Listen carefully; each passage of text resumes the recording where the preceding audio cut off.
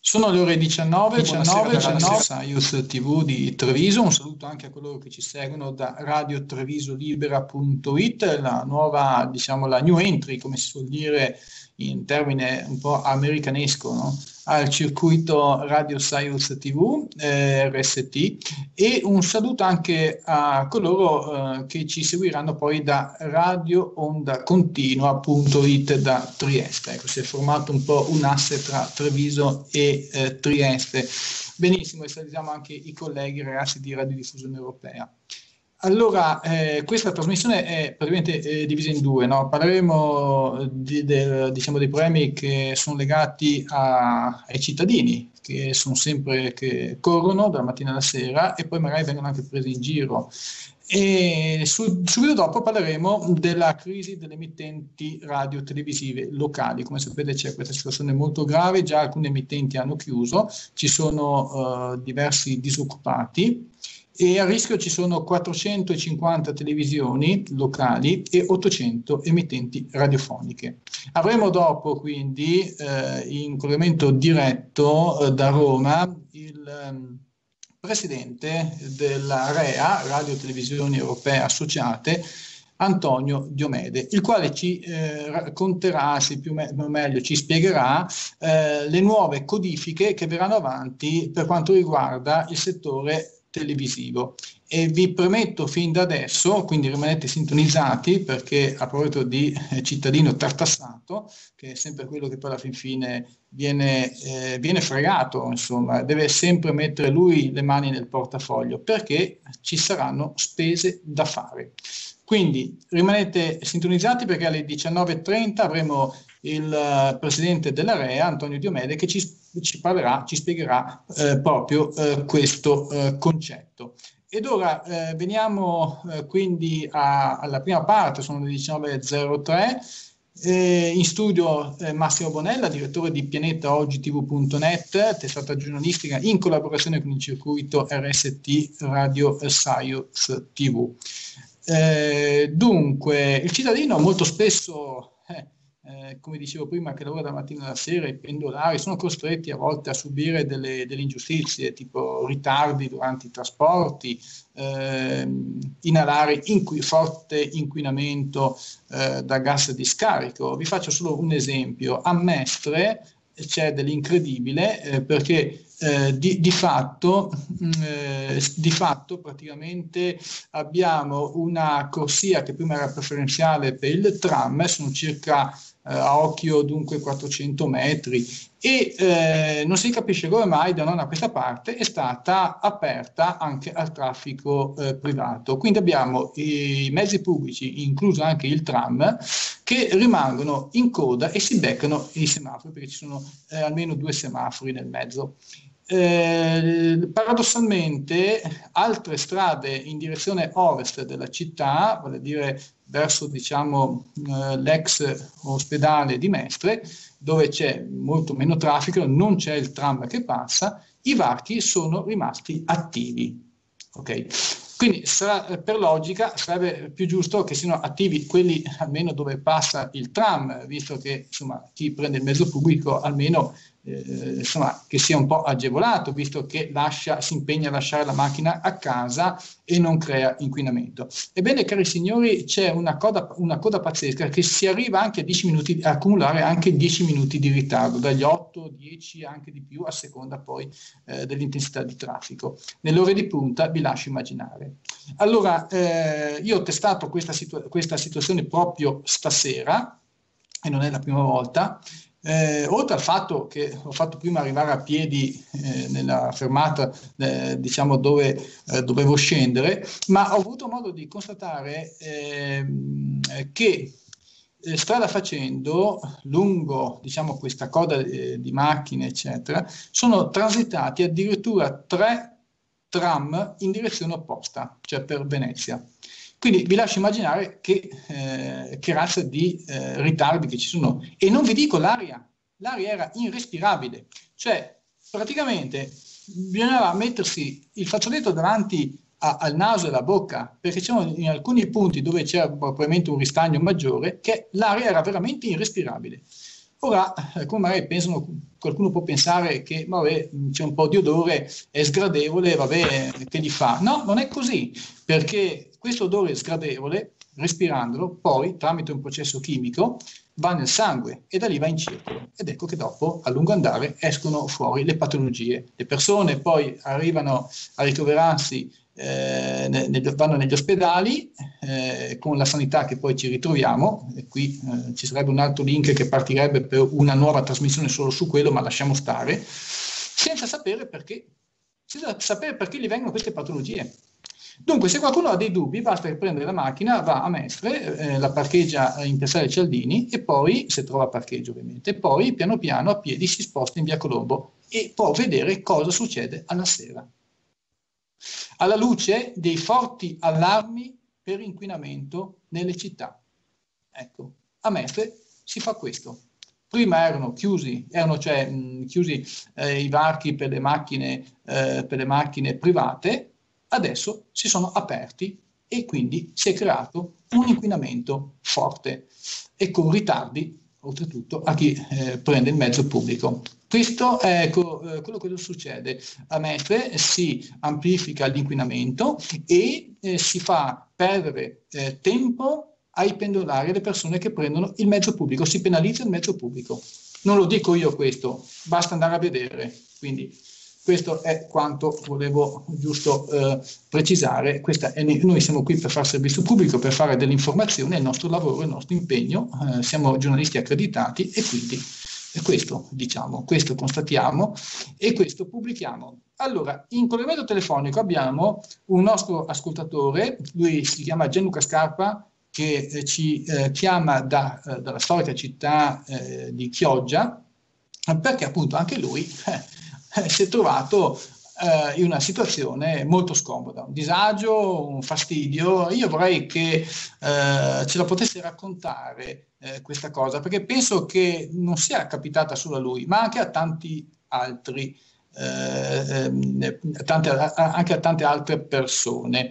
Allora, 19.08, vediamo se il collegamento con chi oggi è pronto. Vedo dalla regia centrale che saluto Rosario Moreno, editore anche di Radio Science TV. Dunque, Gianluca, ci sentiamo. Sì, ciao Massimo e buonasera a tutti i radioascoltatori. Benissimo, innanzitutto un saluto a te, alla tua famiglia. Ecco, vorrei chiederti eh, questo eh, molto semplicemente, co- cosa è successo?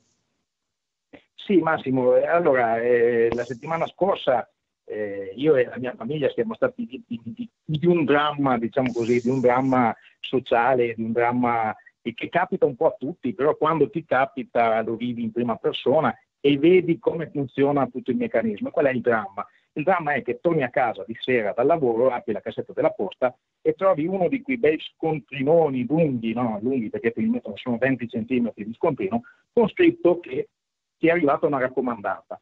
E poi guardi bene nei dettagli e vedi che si tratta di un atto giudiziario. E dici, ma cosa sarà no? un atto giudiziario? No? Cominci subito a preoccuparti e dici io quasi quasi andrei a prenderla subito no, questa raccomandata, così mi tolgo il pensiero di vedere di cosa si tratta. E vedi invece che c'è scritto che eh, il primo ritiro utile è, dopo, è, è dopo tre giorni, non circa, è dopo tre giorni. E qui casca il primo asino, perché uno dice, ma se il postino è venuto a casa mia e aveva questo clicco da darmi, com'è che adesso ci vogliono tre giorni per ritirarlo? In fondo il postino torna in posta e tu dovresti alla sera stessa poterlo recuperare e invece no. E così cominci diciamo un, un, un, un due o tre giorni di ansia, no? perché eh, l'atto giudiziario all'atto pratico è eh, un qualcosa che ti manda un giudice. Questo dice eh, eh, la, la, la, grammatica della parola, te la manda un giudice, si tratta di qualcosa di serio. si tratta praticamente di, una, di un avviso a comparire, di una denuncia, di una querela. Il caso migliore che potrebbe essere è il caso in cui si tratti di eh, dover fare da testimone ad un processo. E quindi tu in questo dramma cominci a pensare, dici ma cosa, ma cosa sarà, cosa, cosa, ho fatto, cosa, perché non, non, puoi nemmeno immaginare.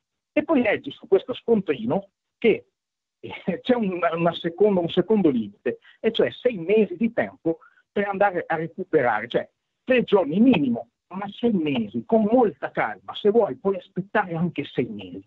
E vabbè, chissà come mai.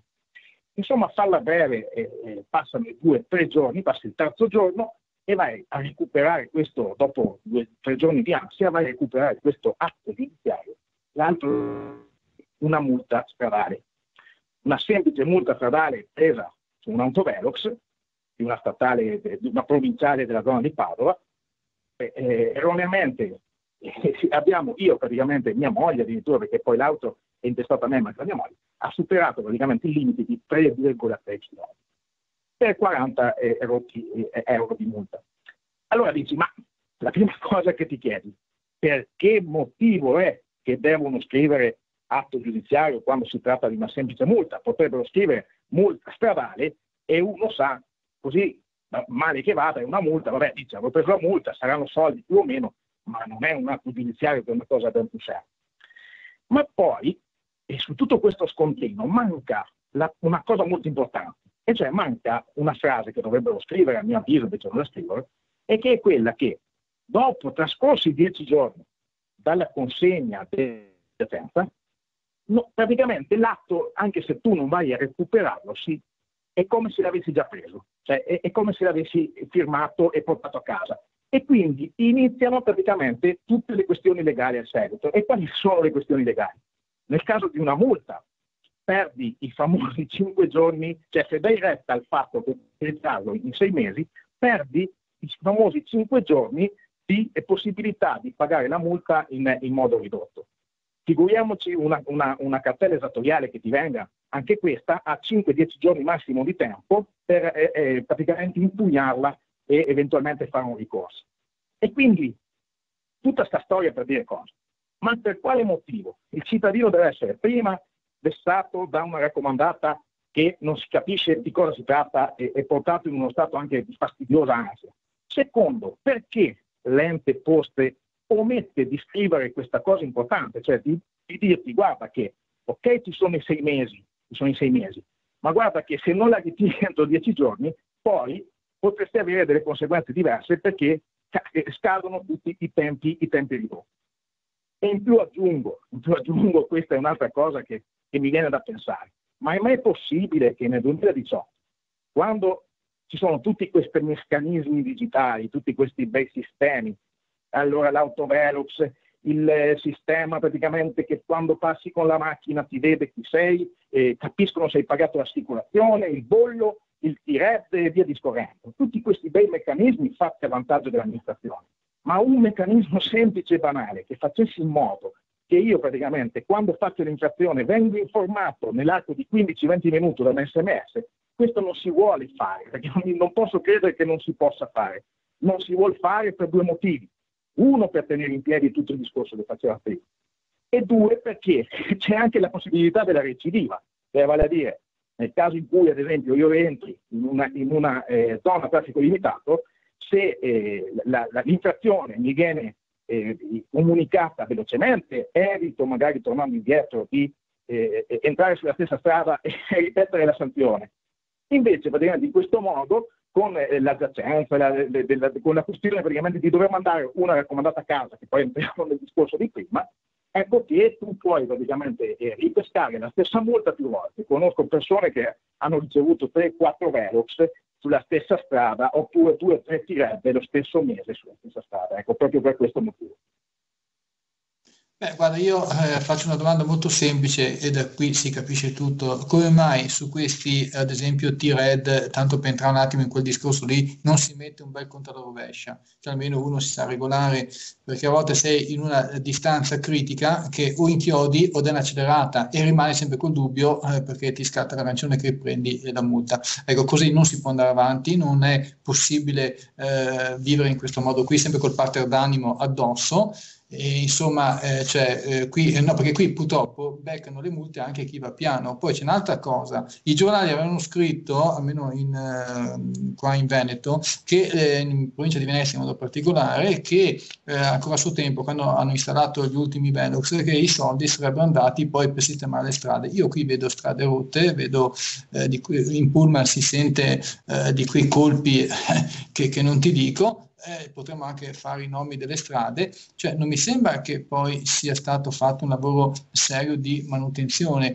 perché quelle buche è da mesi e mesi e mesi che, rim- che sono lì e dopo d'inverno col ghiaccio si eh, aprono ancora di più, cioè voglio dire, c'è qualcosa che non quadra alla luce del sole, cioè tutti possono constatare, non è che lo dico io anche in questo caso qui, cioè, non so, il conto rovescia, perché non si mette? Sì, sì, sì, Massimo, la penso, la penso pienamente come te, anche perché i T-Red messi in quel modo, invece che far sicurezza, la tolgono, perché allora quando arrivi e vedi verde, allora il T-Red dovrebbe essere messo per evitare che le persone passino col rosso e quindi eh, evitare che ci siano incidenti. Però cosa succede? Quando vedi verde, non sapendo se scatta, ti metti a correre più di prima. Al contrario, poi se ti fa arancio, se ti fa arancio, inchiodi di subito e magari qualcuno viene anche addosso, quindi c'è il rischio di tamponamento. Dimostrando chiaramente che il sistema non è fatto per questioni di sicurezza, ma è fatto evidentemente dalle amministrazioni comunali delle varie zone per far cassa. Eh, non, non, purtroppo non si può pensare altrimenti, insomma, cioè, eh, la maggior parte degli autovelox eh, sono evidentemente messi su, su zone eh, diciamo così, che, che, inducono proprio a, a, a, a sbagliare, cioè sono eh, in discesa dopo di un ponte, eh, nella zona praticamente dove prima avevi il 70 ti trovi subito il 50 ed è quella che scatta e, e avanti così, ecco, non, sono fatti proprio per questo motivo. E ripeto, come ho detto prima, i sistemi elettronici e digitali sono solo contro il cittadino, si potrebbero fare tante belle cose anche a vantaggio del cittadino, evidentemente non si vuole farlo. Ecco, poi di questo nei media eh, non è che se ne parla eh, molto. Io poi faccio anche riferimento ai media, quelli no, che ricevono dei contributi eh, quei media ad esempio seminazionali, interregionali, che ricevono parecchi contributi all'anno, eh? attenzione a differenza delle povere locali che anzi stanno chiudendo, perché se loro prendono qualche, tanto per essere chiaro e, e incominciare ad entrare nel tema successivo, se eh, questi media eh, prendono qualche milione di euro all'anno, cioè un media locale a diffusione, malgrado sia diffusione regionale, faccio un esempio, Telemare di Gorizia, ok? non arriva nemmeno a 5.000 euro all'anno, ma stiamo scherzando, ma che, che porcherie sono queste che accadono in Italia? Cioè perché questo oh, eh, sono fatti, eh, non, è, non, sono purtroppo eh, nostre ipotesi, ma sarà così, non sarà colà. No, sono fatti. A Telemar abbiamo una redazione che è a casa, gente che è disoccupata, gente di 40 anni, cioè dove trova il lavoro adesso? Ma non so. Ecco, eh, tu eh, mi permetto, scusami eh, Gianluca, tu so che sei anche sindacalista, cosa ne pensi di questa crisi indotta? Perché a questo punto è una crisi fatta a proposito, perché una televisione come Telemare, che è a Gorizia, l'unica in Gorizia e provincia e quindi di lavoro ce n'è, caspita, come mai la redazione è a casa? Guarda, eh, guarda, Massimo, secondo me su questa questione c'è qualcosa di più di sindacale. Eh, la questione è che si vuole, si vuole togliere la, eh, diciamo, la priorità delle, delle, dell'informazione, si vuole fare in modo che vi siano dei totem nazionali e che tutti ascoltino quelli per dare l'informazione. Le radio locali da sempre sono libere come molte le avevano anche come, come secondo, secondo, secondo nome molte, molte radio locali. E quindi è evidente che gli si dà sulla testa a, queste, a questo tipo di, di, di emittenti. Sono 30 anni che funziona così, adesso gli si vuole dare il secondo colpo di grazia. Che poi diventi anche un programma sindacale, questa è una conseguenza, una conseguenza diretta, ahimè. Ma credo che non si voglia non, non sia, chi, chi, sta facendo questo ha, de, ha degli, altri, degli, altri, interessi, degli altri momenti. Certo. Allora, eh, Gianluca, se non hai da aggiungere qualche altra cosa, io mh, mm, non so, volevi aggiungere qualche cos'altro? No, no, no, no, mi va, mi va benissimo. Io sì. ho spiegato la situazione e vi ringrazio anche di avermi dato questo spazio. Insomma, mi auguro che prima o poi certe, certe assurdità che ancora ci portiamo dietro in Italia cambino insomma, a vantaggio dei cittadini e che, e che, questa, che queste mie parole insomma, possano servire a questo.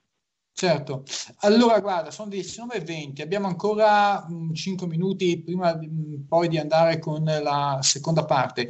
Eh, se rimane un attimo in linea, io magari ecco, mh, chiedo al nostro editore se vuol dire qualcosa, una sua opinione su un po' su questa panoramica che abbiamo fatto, eh, sempre se è d'accordo, perché non era programmata, quindi è una domanda che ho fatto. No, no, fuori, non, è que- non è quello. Sai, il problema del traffico, il problema del viaggiare con l'automobile è un problema che porta un sacco di soldi nelle casse dello Stato e dei comuni. E io mi sono fatto un'idea, personalmente non ho la macchina, lo sai benissimo Massimo. Eh, mi sono fatto un'idea che secondo me gli autovelox servono soltanto per fare cassa, e, invece sono nati perché dovrebbero con le sanzioni eh, diciamo educare l'automobilista. E io la vedo in questo modo forse mi sbaglierò perché quando lavoravo adesso sono in pensione io guidavo la macchina di servizio ho preso anche una multa sulla tangenziale qua a Treviso eh, perché eh, togliendo la, la, percentuale insomma eccetera per un chilometro avevo superato il limite alla fine. E mi trovai a pagare non 40 euro ma 80 e passa euro. Eh, eh, quindi cioè, non so se però non, eh, dove sono messi è vero?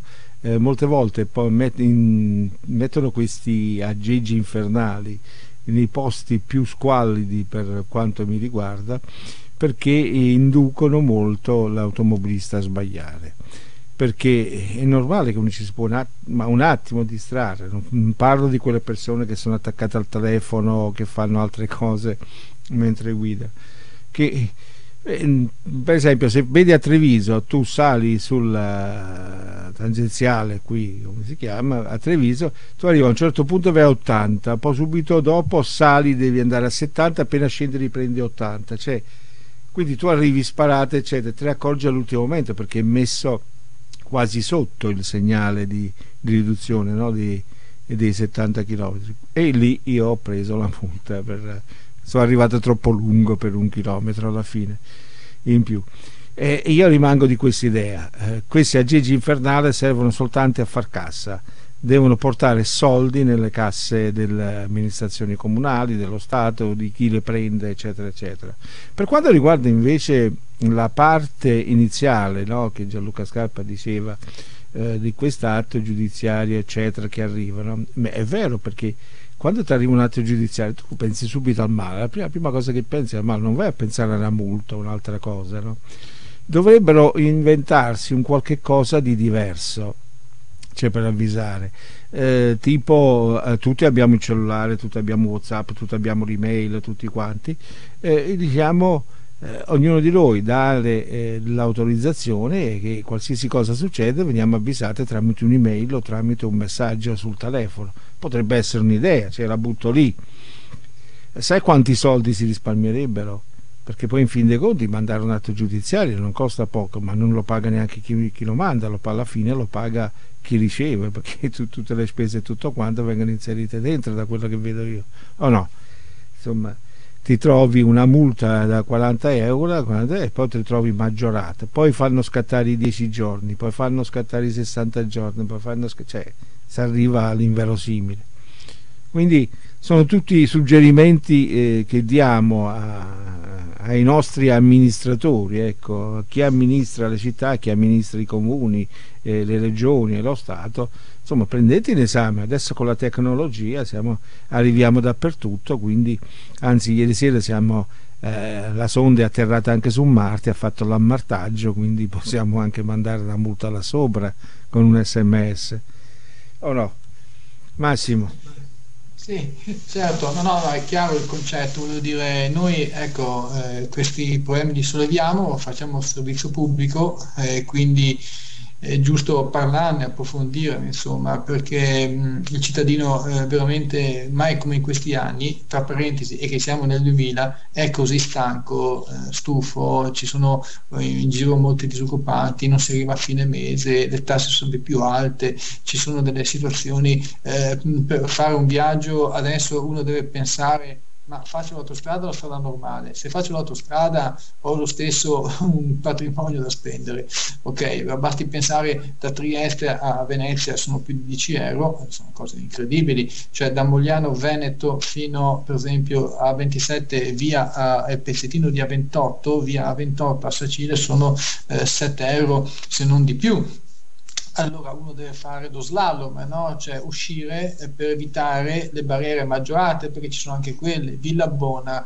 Quarto d'Altino, Mogliano Veneto, Sacile, Porto Ruaro, Isert e altre ancora. Cioè voglio dire, mm, cioè, insomma, non è possibile ecco, andare avanti così. Naturalmente noi auspichiamo assolutamente che con questo nuovo governo eh, si possa mettere mano un po' a queste situazioni di disagio, di, eh, a queste situazioni che diventano anche molto pesanti per il cittadino in modo da poter un attimino riprendere un'Italia eh, con una marcia in più, con un po' più di respiro. Questo è l'augurio che eh, Massimo, scusami se mi, mi infilo dentro, ma ritornando alle autostrade, io rimango sempre dell'idea che tutto ciò che su infrastrutture deve essere tutto statalizzato e non privatizzato. Non capisco perché le autostrade debbano essere privatizzate. Auto... è, suolo, è, suolo, è suolo pubblico, è suolo nostro quello lì, cioè dove passa l'autostrada, non è che del privato. Insomma. È vero, eh, sono d'accordo. Io sono stato un attimo sintesi perché altrimenti prendiamo lo spazio eh, della seconda parte. No, chiedo scusa, eh, chiedo scusa, ma mi è venuto così a passare. Dai. Gianluca, io ti ringrazio sì. per questa. No, sono io che ringrazio voi, sono io che ringrazio voi per lo spazio che mi avete dato. Sono io che ringrazio voi. Allora io ti auguro una eh, piacevole serata, magari in nostra compagnia. Adesso hai sentito c'è anche un'altra emittente in più che è entrata a far parte del circuito Radio Science che è radiotrevisolibera.it. Poi abbiamo anche la collaborazione con Radio Onda Continua.it da Trieste. Eh, Gianluca, a presto, eh, magari ci aggiorni eh, se c'è qualche altra cosa da, appunto, da far emergere alla luce. Grazie. Ok, grazie e buona serata a voi in studio e anche ai radioascoltatori. Buona serata. Buonasera. Grazie a Gianluca Scarpa che ci ha chiamato eh, da Chioggia, un nostro ascoltatore eh, molto attento ai nostri programmi, ecco questo ci fa anche molto piacere, come lui eh, sappiamo ci sono molti altri, quindi stacchiamo allora il collegamento da eh, Chioggia e alle 19.28 eh, vediamo di eh, come dire, girare pagina e aprire un nuovo eh, capitolo che già ve l'ho accennato. Allora, eh, vediamo se eh, Rosario, che comunque so che appunto è in collegamento qui anche con il mio studio che ci siamo sentiti pochi istanti fa, allora eh, ti chiedo Rosario se vuoi mettere un piccolo brano musicale nel frattempo ci colleghiamo con Roma oppure come preferisci? Guarda, se vuoi mentre metto un brano musicale mentre cerchiamo di collegarci con Roma, dai. Perfetto, quindi io ti do i dati e quindi ottimo. Allora, 19.28 rimanete sintonizzati, questa è Radio Science TV eh, con Radio Treviso eh, Libera.it e rimanete in ascolto, dicevo perché tra breve parleremo del nuovo digitale terrestre che, ahimè, attenzione perché c'è da mettere le mani nel portafoglio e quindi rimanete sintonizzati che vi vogliamo spiegare un po' cosa succede con una persona competente in materia, il presidente della REA, l'ingegnere Antonio Diomede. Prego eh, dunque mm, Rosario. Vado col brano. Perfetto. Brano in onda. She looks so good, but she ain't so pretty.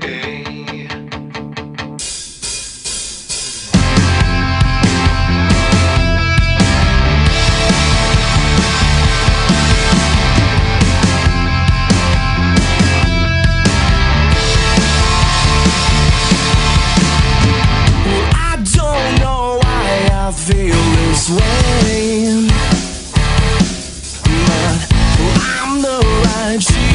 driving insane. And don't you know you oughta pump the brakes? On can't tell you why don't you let it go? Well, I'm the line and finally I'ma let you know. You're somewhere in between my lanes. Hey, you know there ain't another girl like her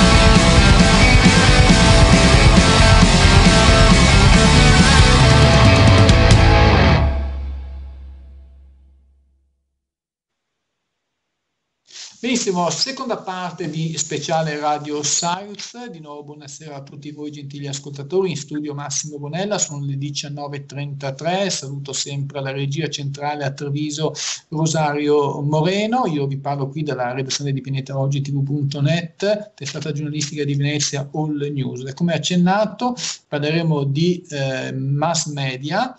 Eh, in modo particolare andremo a toccare un punto dolente perché eh, con la nuova eh, codifica eh, l'utente dovrà mettere mano nel portafoglio ancora.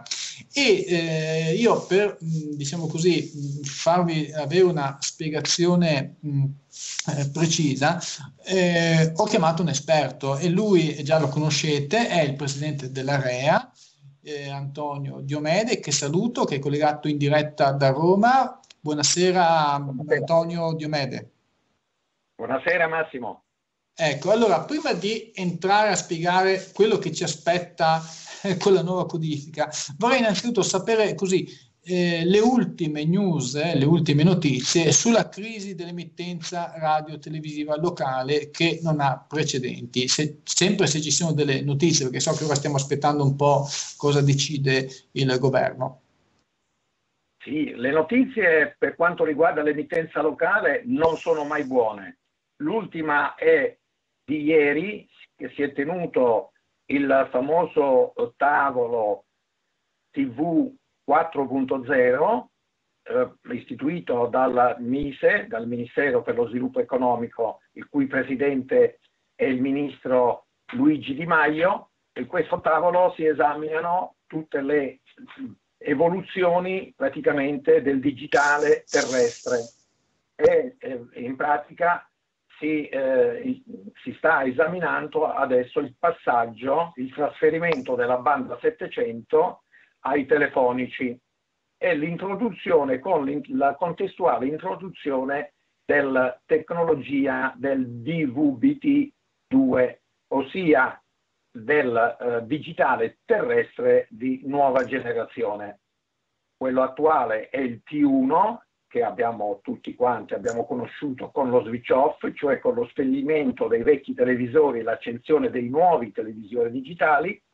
Adesso c'è un nuovo switch off, spegnimento del T1, quello attuale, e riaccensione col T2. Ci sarà una data precisa in cui faremo questa accensione, spegnimento e accensione virtuale ecco, ecco mi, scusi, ecco mi, scu- mi, scusi, se la, la, stoppo un attimo per capire, per far chiarezza anche ai nostri ascoltatori, perché bisogna che la prendano come dire, un po' per mano, perché dobbiamo ehm, diciamo, avere un, il più possibile, il più, dobbiamo più, il più possibile farci capire degli ascoltatori, perché è importante, sono dei passi importanti. Allora, adesso c'è il T1 e sarebbe l'MPEG 2 eh, eh, o, o sbaglio? Eh no, allora, il T1 eh, è praticamente il digitale di prima generazione che è, è stato introdotto nel 2009 eh, come conseguenza dello spegnimento del vecchio televisore, chiamiamo certo. delle vecchie immagini analogiche, analogiche certo. vediamo con i vecchi cassoni, eccetera. Parliamo in questi termini per farci capire meglio. Certo, perché certo. se andiamo sulla terminologia delle codifiche, poi magari ci perdiamo anche il, il, il collegamento diciamo, del, della nostra conversazione con gli ascoltatori. Certo. Il T1 è quello attuale, il digitale così come lo vedete. Succede che il digitale sta sempre in evoluzione, diciamo che ogni cinque anni ci sono a seguito di studi e di sperimentazioni che fanno i grandi laboratori tecnologici il digitale attuale stato, sarà portato a breve, nel 2020, praticamente a un'evoluzione che si chiamerà nuovo digitale T2. Che cosa comporta questo? Che avremo immagini sempre di alta qualità e quindi non è che avremo un grande salto, diciamo, da questo punto di vista delle immagini perché sono già perfette Avremo però il vantaggio che in una determinata eh, banda, in un determinato canale, diciamo, perché conosciamo meglio come canale, potremo mettere più programmi, cioè saranno canali maggiormente compressi sempre ad altissima risoluzione, cioè ad, ad altissima qualità visiva. Ovviamente questo costerà, che cosa costerà? Costerà il cambio del televisore nei casi in cui l'utente volesse ricevere questa nuova compressione, eh, diciamo maggiormente evolutiva, che tra l'altro non è che è, un optional, per il momento sarà imposta perché alla fine poi entro il 2022, tra il 2020 e il 2022, poi si smetterà proprio la produzione dei vecchi televisori, quelli attuali, chiamiamoli attuali, con i nuovi ma nel frattempo però sarà possibile utilizzare gli stessi televisori per vedere la nuova tecnologia in T2 con le nuove compressioni con un decoder che sarà naturalmente acquistato e quindi bisognerà, come diceva lei Massimo, eh, mettere mani al portafoglio e comprare questo nuovo decoder. E quindi, la domanda che io mi... La, la domanda che io mi... Prego? E quindi con più telecomandi, più difficoltà, mi viene in mente i pensionati, no? perché alla fin fine poi chi che ne perde è l'emittenza locale. Beh, è un decoder che avrà un nuovo telecomando sicuramente, ma questo diciamo non è proprio un, un grande disagio. Il disagio è che bisognerà mettere mano alla tasca no, a distanza di pochi anni, perché noi avevamo i vecchi televisori che abbiamo da poco sostituiti con i nuovi e a distanza di 5-6 anni dovremo cost- comprare altri televisori con altri decoder eventualmente e anche in alcuni casi eh, rivedere anche eh, i sistemi di antenna riceventi perché cambiano anche alcune posizioni di trasmissioni eh, e che poi parleremo magari più in là. Questo va sempre alla fine a carico dell'ultimo consumatore, dell'ultimo eh, destinatario diciamo, di questa tecnologia che siamo noi consumatori. E quindi la domanda che ci dovremmo porre è questo. eh, in pochi così pochi anni eh, era proprio necessario tra il vecchio televisore analogico e questo nuovo T2 introdurre nel frammezzo il T1 e farci acquistare un televisore che in pochi anni sarebbe stato già obsoleto? Eh, infatti è qui che volevo arrivare perché all'epoca la Slovenia diceva se voi prendete un decoder già MP4 che noi trasmettiamo in MP4 vi legge sia l'MP2 che l'MP4 no? e quindi un domani che si passa l'MP4 siete già a posto. E, e, e quindi eh. qua c'è, ecco la confusione, eh, ecco, mh, butto lì questa, questa cosa in modo da poter far chiarezza. Sì, perché l'MP4 riceve praticamente tutti i segnali, anche quelli attuali, però l'MPEG 2 non riceve l'MP4 e questo è il contrario e questo è, è, il punto. Quindi allora mi faccia capire, il T1 sarebbe l'MPEG 2, il T2 sarebbe con l'MP4. Esattamente. E poi ah, c'è l'MP4 l'MP4 è ancora più evoluto che con una codifica di trasmissione che è chiamata H265, ma quella verrà ancora successivamente e si prevede anche quello, anche di nuovo mettere mani alla tasca. Comunque ormai l'elettronica è entrata nel concetto evolutivo che è anche un concetto di consumo di mercato che le famiglie devono programmare ogni 5 anni per cambiare come si cambia ogni 5 anni il frigorifero, si cambia la lavastoviglie, si cambia l'aspirapolvere, e dobbiamo metterci l'anima in pace che la, l'industria dell'elettronica. Ci mette sul mercato nuovi prodotti che già ha in tasca 5 anni prima, li mette 5 anni dopo, perché in questo modo fa lo smaltimento della rottamazione dei vecchi apparecchi come si avviene con le automobili con le nuove. E quindi abbiamo anche l'automobile che è del Euro 1, Euro 2, Euro 3, Euro 4, Euro 5, Euro 6 e la stessa cosa vale per il televisore. Questo è l'andazzo. È stato, è stato, molto chiaro, ma allora secondo lei perché si è, si è partiti dal T1? Potevamo partire almeno dal, dall'MP4, insomma, cioè non dall'MP2, cioè col T2?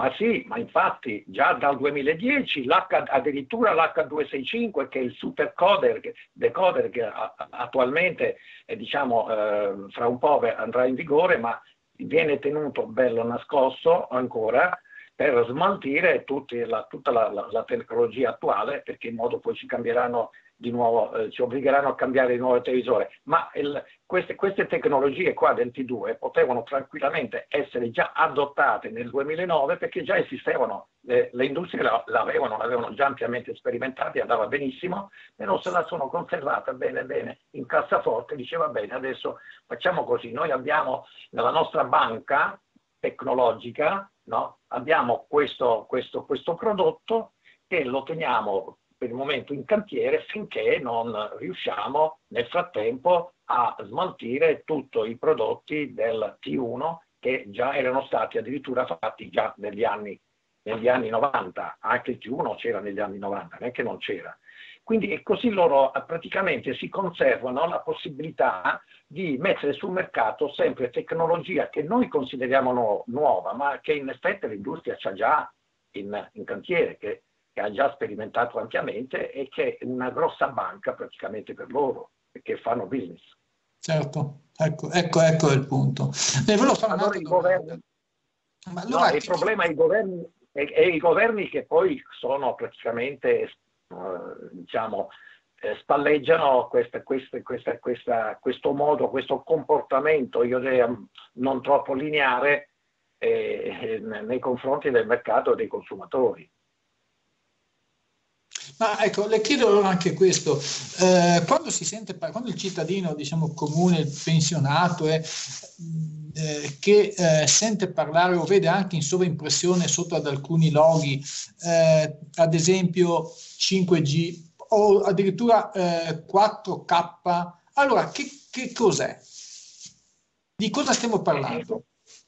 Stiamo parlando, parliamo del 5G, adesso si parla di 5G e quindi avevamo il 3G, poi siamo passati al 4G, adesso al 5G, ma bisogna sapere che il 5G che noi andremo ad adottare sempre intorno dopo gli anni 20 già è ampiamente funzionante negli Stati Uniti ed è in diversi eh, paesi del, eh, dell'est, in particolare nei, nei, paesi praticamente nel Giappone e in Cina già è, è, è fun- perfettamente funzionante. In Europa ancora non lo è, pian piano lo introdurranno lì, quindi loro fanno eh, questa tecnologia, la mettono nei paesi a, diciamo, a mercato più spinto, più consumistico e poi lo sperimentano lì da un punto di vista diciamo anche dei costi, dei brevetti, dello sfruttamento dei brevetti eccetera e quando il brevetto in quei paesi a grande diffusione come gli Stati Uniti, a grande consumo, il brevetto è già e, anche la, la, i costi di eh, sperimentazione sono stati eh, praticamente non solo eh, ammortizzati ma poi arrivano i, i guadagni, poi a costo zero loro lo introducono eh, in altri paesi diciamo, meno evoluti come mercati, come consumo.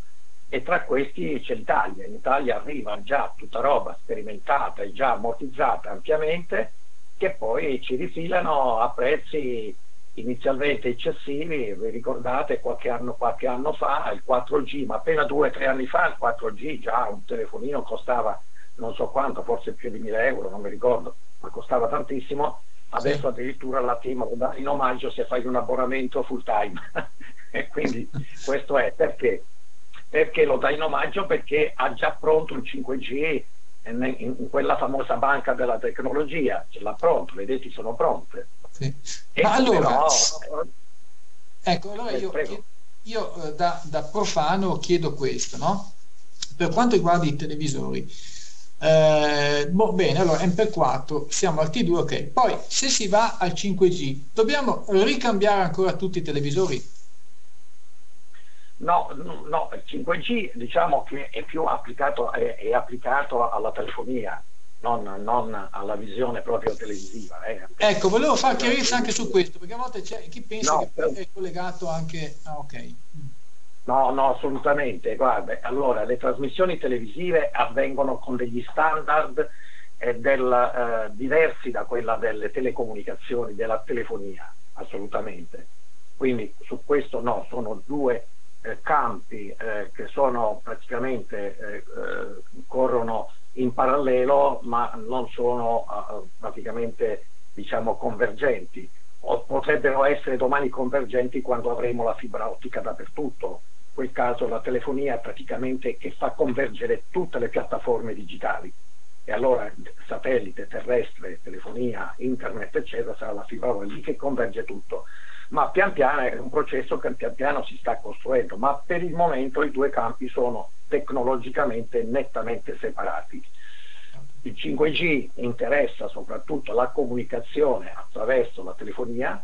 La telefonia è questa, eh, in questo momento io e lei stiamo praticamente eh, utilizzando per poter comunicare attraverso un trasmettitore che è di là dalla vostra camera di trasmissione che usa un'altra tecnologia, ma però che, ci, che trasporta il nostro, il, la nostra conversazione, la veicola, ma non la produce. La produce invece la, la, la tecnologia telefonica. Il 5G allora... interessa soprattutto e il, allora il 4K cosa sarebbe?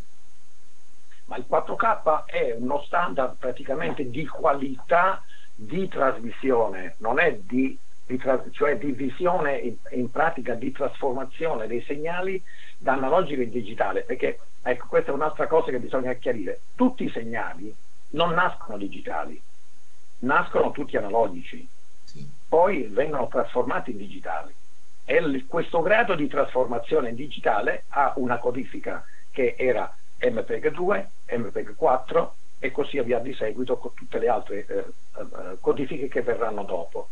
Però i segnali, si sappia, in natura non esiste un segnale digitale, in natura esiste un segnale analogico, che quando due uomini, due persone si parlano senza nessun mezzo, ma attraverso la propria la, la, propria, la, propria, voce, va bene, la nostra voce emette segnali analogici, non digitali. Il digitale allora, è praticamente, prego, allora, quindi a questo punto, sì. prego, prego. No, allora dico, perché mi metto sempre nei panni del cittadino, eh, se uno ha un televisore ehm, come adesso attuale, ok, il 4K no, no, non lo vede, magari sente l'audio ma non lo vede. Con i televisori nuovi può vedere allora anche il 4K? Ah, certamente, se il televisore sono tutti predisposti, quelli nuovi col 4K, ah, che okay. sono ad altissima risoluzione. Sono, Attualmente ci sono, attualmente ci sono delle televisioni che già trasmettono 4K? No, nessuna. Nessuna. Si compra il televisore ma nessuna di queste ancora trasmette. Eh, allora, no, perché a volte Però... capita di sentire su qualche emittente, ad esempio, eh, adesso non mi ricordo, mh, mm, vabbè, comunque capita che sento l'audio ma vedo lo schermo buio. Che, po- che Guarda, sono allora, delle prove tecniche allora. Sì, fanno delle prove tecniche. Il 4K ancora non, non, ha, non ce l'ha nessuna, nessuna uh, trasmittente televisiva, non, non, ce l'hanno. Quindi in effetti però la ricezione è già predisposta giustamente perché poi quando avverrà introdotta in modo generalizzato questa nuova codifica che è, non la chiamiamo 4K, che in effetti è ad altissima compressione, quindi è, è, è espressa da quel codificatore che le dicevo H265 sì. che ancora nessuno ha, non credo l'abbia neanche la RAI, forse in forma sperimentale sì, sicuramente l'avrà, però non, non, è, non, non è, non è ancora visibile. Ecco, allora eh, abbiamo, abbiamo, altri 5 minuti buoni. Volevo fare questa domanda per avvicinarsi anche poi a quello che è il nostro settore delle, delle RTV locali. Con questa nuova codifica ci saranno più spazi, quindi più frequenze e quindi oltre a rimanere tranquillamente in onda le attuali emittenti eh, regionali, ecco, eh, potrebbero anche aprire di nuove ma sicuramente sì, la tecnologia va, eh, la nuova tecnologia nuove, con le nuove codifiche portano questi vantaggi. Se con un canale, un vecchio canale che trasmetteva, una vecchia tra, stazione trasmettente che trasmetteva su un canale in eh, formato analogico, si poteva trasmettere un solo programma, con il digitale, con la trasformazione in digitale, nel 2010 appunto si, si, si, si, ha avuto la, il grande vantaggio che su quello stesso canale, praticamente su quella stessa frequenza, eh, si possono trasmettere ben sei programmi. Infatti le attuali trasmittenti televisivi trasportano sei programmi. Con il T2 addirittura per, proprio grazie alla maggiore compressione che si è ottenuta con queste nuove codifiche si possono trasmettere addirittura 12 e anche 15 programmi e quindi pensate a che grande vantaggio. Quindi in pratica è sempre la stessa casa che una volta ospitava una persona con l'analogico, poi ne ospita è stata un po' ristrutturata e si sono create sei stanze, si è un po' compressa gli spazi e poi la stessa casa ancora adesso eh, l'architetto l'ha rivista e ci ha messo dentro eh, ci ha ricavato altre sei stanze, possono eh, col T2 convivere 12 programmi, cioè 12 persone per analogia come esempio della casa. Attenzione, ecco. ma questa è una compressione che interessa le frequenze, il T2 è una compressione che interessa le frequenze praticamente eh, quelle televisive, quelle che viaggiano via etere. Poi c'è l'altro effetto moltiplicatore che è la compressione che si riesce a ottenere non dalle frequenze praticamente via etere che, che sono i segnali veri e propri, diciamo, delle onde elettromagnetiche, ma le compressioni che si ottengono nella bassa frequenza, cioè dell'audio. E quindi mh, su questo si, ha, si, sono avuti dei notevoli vantaggi e, e, e, si sono fatti dei grossissimi passi avanti, per cui le eh, immagini e l'audio insieme alle immagini che vengono sovrapposte all'onda elettromagnetica che raggiunge poi i nostri ricevitori dei nostri televisori, c'è una doppia compressione delle immagini e dell'audio che addirittura consente di poter avere un risparmio complessivo per cui con un solo vecchio canale analogico si possono trasmettere ben 50-52 programmi ed è questo, una cosa eccezionale. Eh, questo è importante, è, è importante, perché darebbe respiro all'emittenza eh, locale. Apparentemente sì, però proprio ieri il tavolo istituito dal Mise, la prima domanda che lei mi ha fatto, ha capito come funzionano queste cose e noi locali che abbiamo avuto assegnate cinque frequenze a livello nazionale da poter utilizzare che cosa ha fatto? Ieri hanno detto chiaramente attenzione, adesso vi togliamo, siccome c'è stata la moltiplicazione per via di queste compressioni che ottenute dalla nuova tecnologia, noi vi togliamo quattro frequenze e ve ne lasciamo solo una, per cui ci tolgono sempre praticamente i viveri e siamo sempre ridotti a, a vivere alla giornata, come si dice, cioè sempre con carenza di segnali. Quindi eh, è stato preannunciato ieri, grossa novità, se leggete i giornali oggi, io poco fa ho diramato eh, una, eh, una, circolare in questo senso ai nostri associati, la riceverà anche lei, Massimo, che risulta nella lista, la mail list della REA, riceverà questa brutta notizia da parte nostra perché speravamo appunto di avere una maggiore capienza, una maggiore disponibilità con le nuove tecnologie e invece no, ci vengono tolti i canali e quindi siamo punte da capo perché la, quelle disponibilità che si ottengono grazie all'innovazione tecnologica se le prende lo Stato ne fa quello che vuole. Ma eh, queste sono cose eh, cioè, eh, che hanno dell'incredibile. È l'incredibile sì, ma eh, purtroppo lì poi c'è il gioco mediatico dei poteri mediatici, perché abbiamo già parlato in altre trasmissioni che il potere mediatico è il, uno dei, te, dei, tre poteri fondamentali dello Stato e praticamente eh, che eh, chi ha nelle mani le chiavi, le stazioni trasmittenti e chi ha le telecomunicazioni, che avrà domani le telecomunicazioni, saranno i nuovi dittatori praticamente dei popoli e delle nazioni, dove bisognerà ripensare anche i modelli democratici, se ancora esisteranno, se sarà, o, o se verranno sostituiti da modelli democratici virtuali, non sappiamo, perché questo è, è, è un rebus anche da, da sciogliere diciamo, nei consessi eh, istituzionali, eh, chi, nelle, chi, avrà nelle mani praticamente eh, le centrali telefoniche, avrà nelle mani il 5G consente come tecnologia di far passare, di far parlare, colloquiare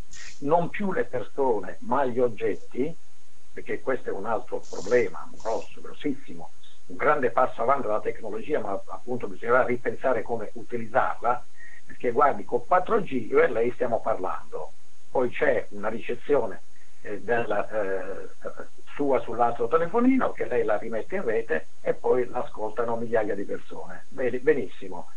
Bene, a questo però ci sarà col 5G e questo è il 4G. 5G sa che succederà che potranno colloquiare come stiamo facendo io e lei anche tra di loro gli oggetti, potrà parlare in praticamente, lei pensa a una catena di montaggio che attualmente c'è un operatore che dirige una, una, eh, una persona, un umano che dirige una catena di montaggio che è tutto programmato, eccetera.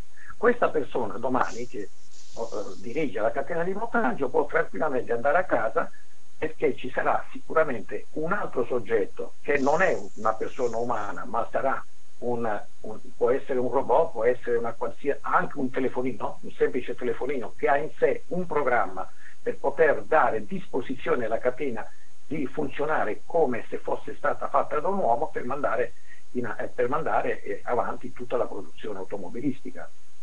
E, eh, pensi lei a due automobili che sulle strade, ho centinaia o migliaia di automobili, milioni di automobili che vanno sulle autostrade senza, eh, che parlano tra di loro e, e, si dirigono e controllano il traffico tranquillamente come faremo noi cioè frenano davanti a un ostacolo, si fermano a un semaforo, possono girare a destra e a sinistra, possono fare, evitare addirittura anche delle multe, possono colloquiare tra di loro e, e mettere in condizioni i passeggeri di colloquiare tra di loro senza alcun intervento.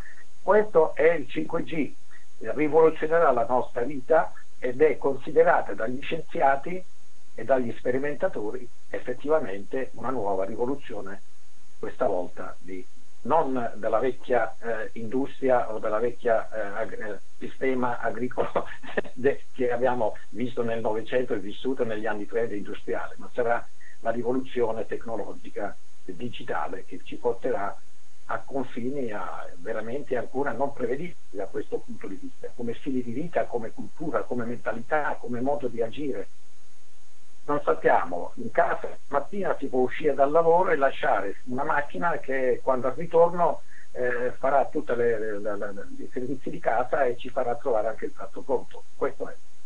Sì, per certi versi può essere vista positivamente, per altri versi è abbastanza inquietante. Sto raccontando non è una fantascienza quella che sto raccontando. Eh? Ah, no, certo, no, no, stiamo parlando di... Eh, ma eh, di realtà eh, ho capito, quindi le vorrei fare un'ultima eh, domanda. Allora, eh, su, su, questa nuova tecnologia del digitale terrestre che si eh, prospetta nell'immediato futuro, come vede eh, diciamo così, la vita delle emittenti locali e come vede anche un domani la televisione alla fin fine? Cioè, ad esempio in Svizzera si parla di togliere il digitale terrestre, quindi non so, rimarrà la fibra ottica con eh, il satellite oppure solamente la fibra ottica perché a quel punto conviene fare tutto quanto lì? Cioè, come vede lei? E ma soprattutto con eh, riferimento all'emittenza locale. Sì, non c'è dubbio che la convergenza della tecnologia va verso il televisore la convergenza, almeno per quando riguarda l'uso domestico, non l'uso industriale, è un altro discorso. E quindi verso il televisore eh, confluiranno tutti i sistemi digitali eh, domestici e anche di rapporti diciamo, eh, di svago, di cultura e quindi già adesso molti, molti di noi leggono il giornale su PC, ma domani col PC si potrà tranquillamente che si collocare col proprio ospedale, essere monitorati anche da un istituto tumori eh, oppure monitorati anche a casa tranquillamente. Ecco, gli ospedali potranno cambiare fisionomia, potranno monitorare i malati da casa attraverso il televisore e con l'aiuto del 5G potranno anche dare addirittura fare prestazioni terapeutiche. Attenzione, che questo è quindi il televisore già è un mezzo, diciamo, un mezzo, un mezzo secondario, accessorio rispetto al 5G, perché chi comanderà tutto è il 5G e, il 5G si avvarrà anche della collaborazione del televisore, soprattutto per essere visto, per essere interpretato. Quindi immaginate in questo scenario, che non è uno scenario di, di, di fra un secolo, uno scenario di qui a dieci anni, eh, forse meno, cosa, immaginate in questo scenario la funzione delle locali, figuriamoci, al mio modo di vedere non esisterà neanche più la parola locale, perché la parola locale è legata appunto alla diffusione eh, limitata terrestre che può fare un'antenna collocata su un monte dove non ci sarà più, le antenne spariranno dai monti, tutto camminerà in fibra ottica e quindi eh, avremo il vantaggio di recuperare eh, il paesaggio e questo sicuramente. Da un punto di vista della salute recupereremo anche l'esposizione alle onde elettromagnetiche, eh, almeno quelle a bassa, a bassa, a bassa, eh, a bassa portata, perché poi verranno le onde diffuse invece ad alta, ad alta, ad alta velocità eh, verranno emesse nelle città e questo sarà un guaio, un guaio perché il 5G eh, per funzionare bene deve avere una, un campo di radiazione a 360 gradi e come si ottiene? Visto che le, le, le, le frequenze che utilizza vanno da 3,5 a 3,6 eh, giga, quindi eh, diciamo che diventa, diventa eh, complicato, sono onde elettromagnetiche molto direttive, penetranti, e con una larghezza di banda che non supera i 20-30 gradi, perciò per fare un sistema circolare affinché venga ricevuto un 5G in una palazzina bisognerà mettere intorno al centro del paese, intorno come un, come un raccordo con una linea anulare, una, una strada anulare, n, eh, n sistemi radianti che eh, spaziano, cioè coprono a distanza di eh, 20 gradi ciascuno, i 360 gradi, e que- che lavorano simultaneamente, sì, perfettamente sincronizzati per far arrivare a 360 gradi il servizio in tutta la città. Quindi sarà anche un- una rete diversa da quella attuale e lì arriveranno onde elettromagnetiche che non sarà più di un giga e, saranno eh, onde elettromagnetiche, ripeto, almeno di 5 volte tanti, dai 3 ai 5, anche ai 5 giga e qui l'esposizione elettromagnetica può essere in alcuni casi anche abbastanza importante eh, per, per, chi ci abita e bisognerà vedere da un punto di vista sanitario e della protezione come si può trattare. Sì, diciamo che con queste ultime informazioni mi ha un po' come dire spiazzato, ecco, è tutto da vedere, da quello che ho capito si andrà tutto via cavo, quindi sarà quello il futuro, però intanto eh, cerchiamo di eh, quello che mi preoccupa poi anche questo discorso qui che mh, l'eliminazione è una novità quindi eh, di aver tolto le frequenze.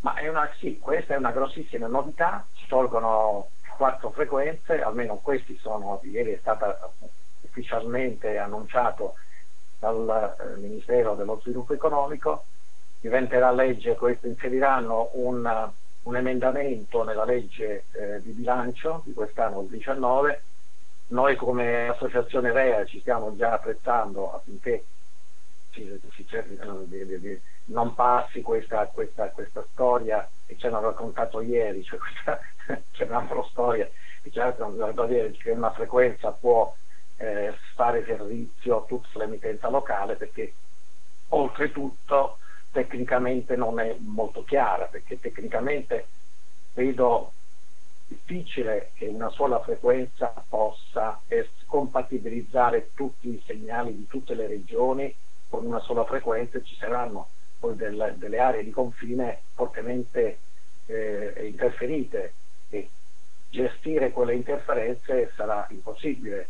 Quindi almeno ce ne vorranno due, se non tre frequenze per poter poi a scacchiera eh, da regione a regione utilizzare frequenze diverse appunto per non creare sistemi e, e flussi interferenziali. Quindi è stato detto dalla parte per, per adesso del Ministero da una parte principalmente politica amministrativa e adesso questo confronto per quanto riguarda la regola dovremmo fare in Agicom, nell'autorità, che è una parte un po' più tecnica, dove chiederemo poi praticamente come intenderanno loro eh, risolvere il problema delle inevitabili interferenze e conflitti di interferenze che avverranno nelle singole regioni. Da una regione all'altra non si può mantenere una stessa frequenza, quindi tra di loro ci sarà, si scontrano certo, ma certo, saranno, certo. Ci saranno, eh, certo, ci saranno anche altri problemi. Prego. Certo, no, dico... Eh, sì, eh, dico, questo è un nuovo problema che nasce. Ora, eh, naturalmente mh, mm, ci tenga eh, informati, eh, dopo io darò un'occhiata al comunicato perché ho ancora da vedere, ho ancora diciamo da qui la posta di redazione, vedremo un attimino, eh, volevo capire un attimo, ecco, e se ci sono delle novità naturalmente continueremo a parlarne, siamo sempre pronti diciamo, ad aprire un altro speciale, un'altra trasmissione straordinaria su queste tematiche perché sono veramente importanti eh, che ci preoccupano eh, tutti da vicino, sia per quanto riguarda i posti di lavoro che vengono a meno sulle emittenti eh, locali, ma anche perché ne va di mezzo, si può dire, la nostra democrazia, insomma, queste voci. Cioè, mi domando alla fine, visto che adesso appunto ieri sera avete avuto questa notizia che vogliono tagliare altri eh, canali, cioè mi domando ma chi è che vuole spegnere queste voci libere, queste voci dell'emittenza locale? Chi è? Cioè, alla fin fine la testa, cioè da dove parte questa cosa, do, do, dov'è questa regia, dove è nascosta, in Italia, all'estero, perché a questo punto tante domande mi vengono. E comunque sarà magari motivo di un prossimo approfondimento. Noi siamo andati anche oltre il tempo eh, massimo, io eh, mi scuso con Rosario Moreno, eh, eh niente. Ehm, Ingegnere, io la ringrazio tantissimo per tutte le informazioni che ci ha dato in questi speciali, in queste trasmissioni straordinarie che sono partite da fine ottobre e con oggi questa appunto chiude questo eh, ciclo, ma siamo pronti ad aprire altre finestre su, queste, su, queste, su questa situazione eh, non appena ci saranno altre novità che penso che non mancheranno. Ecco, le, diciamo che l'orizzonte è abbastanza eh, nebuloso, o meglio, è abbastanza temporalesco, forse rende più l'idea. Grazie, professor, eh, grazie ingegnere Antonio Diomede, presidente eh, della REA Radio, eh, radio, televi- radio Televisioni eh, Europee Associate, a meno che non abbia da aggiungere qualche altra cosa, eh, lascio ancora un minuto. Se mi permette, se mi permette vorrei, per più di quanto io abbia potuto diciamo, chiarire alcuni aspetti questo, di queste tecnologie, eh, permetterei di eh, suggerire per chi ne ha tempo e voglia di eh, leggere il, il volume eh, radio e tv al video dove edizioni Amazon basta andare su amazon.it troverete radio tv al video dove c'è eh, un lavoro fatto dal giornalista Rainero Schembri un giornalista professionista che ha interamente pubblicato una mia intervista dove vengono date tutte 50 domande, 50 risposte a questi problemi. Perfetto, ecco, lo ricordi ancora una volta questo libro, eh, Antonio? Radio, radio, TV al video, edizioni Amazon, basta andare sul sito tre volte www.amazon.it e si trova questo volumetto di 150 pagine dove c'è appunto una mia intervista fatta da Emiro Schembri che spiega esattamente qual è il, eh, dà anche delle risposte a quella che diceva prima, ma poi alla fine chi è la, la cabina di regia di tutta questa cosa, qual è, le troverete lì la risposta. Molto, molto interessante, tra le altre cose salutiamo anche il collega giornalista Rainero Schembri eh, che eh, conosciamo, più volte lo abbiamo sentito al telefono e anzi allora eh, ripeto radio tv al bivio, perfetto. Grazie, grazie ancora Presidente grazie. Diomede. Grazie a lei Massimo, buonasera a tutti e a presto. Allora, a presto, allora stacchiamo il collegamento in diretta da Roma. Era Antonio Diomede, presidente della REA, Radio Televisioni Europee Associate. Eh, ehm, reasat.eu per maggiori informazioni cliccate lì e vedete un po' eh, eh il tutto. 2011 siamo eh, forte tempo, eh, siamo abbastanza in ritardo, siamo fortemente fuori tempo massimo. Io saluto anche Rosario Moreno che ci ha tenuto la regia, editore di Radio Science TV, includendo qui anche eh, Radio eh, Treviso Libera.it, trasmissione che va in onda anche con la nuova web radio di Trieste, radio ondacontinua.it. È tutto, eh, chiudiamo qui questo ciclo di eh, trasmissioni straordinarie sull'emergenza, sul problema della forte crisi che non ha, che non ha precedenti sull'emittenza radio televisiva locale in Italia. In studio Massimo Bonella, alla regia centrale a Treviso Rosario Moreno. Grazie per averci seguito, vi lascio ora alla nostra programmazione, anzi alle nostre programmazioni delle web radio. Buonasera a tutti.